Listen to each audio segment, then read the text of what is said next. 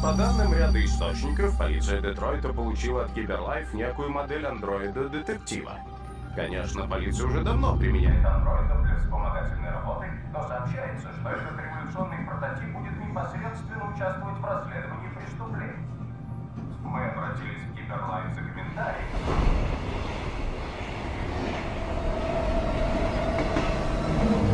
Подъезжаем к